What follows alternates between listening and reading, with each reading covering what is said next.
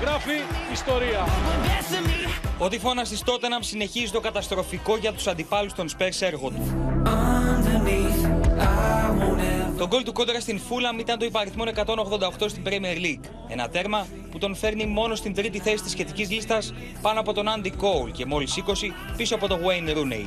It's been a fantastic kind of nine, ten years playing in the Premier League, and uh, hopefully got plenty more years to go as well. So uh, no, always love to score, always love scoring. Uh, the most important thing is winning games.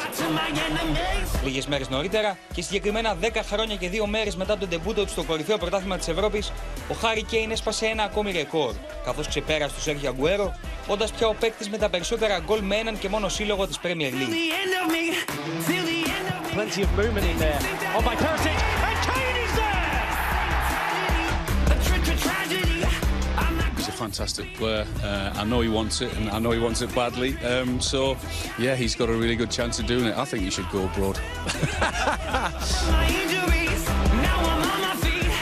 Αν και το προηγούμενο καλοκαίρι βρέθηκε μια ανάσα από την έξοδο, ο Hero Kane της Tottenham δεν αποχωρίστηκε τελικά τα αγαπημένα του λευκά, συνεχίζοντας να ταλαιπωρεί παρέα με το ποδοσφαιρικό του έτερο νήμιση τα αντίπαλα δίχτυα.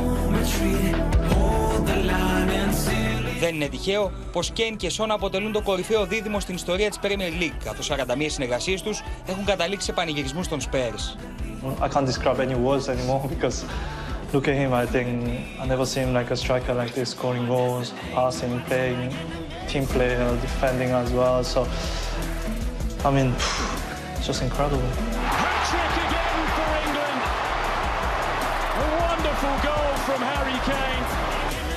Με το Μουντιάλ του Κατάρ να βρίσκεται πρώτο μιλόν, ο Κέιν φιλοδοξεί σε μία ακόμη κορυφή. Jordan Henderson clips it in. Harry Kane's there. Η πρώτη θέση των σκόρερ με τα λιοντάρια απέχει μόλις 3 γκολ και είναι θέμα χρόνου ο αστέρας της τότε να ξεπεράσει το Wayne Rooney και να γράψει το όνομά του με χρυσά γράμματα στην ιστορία της εθνικής ομάδας της Αγγλίας.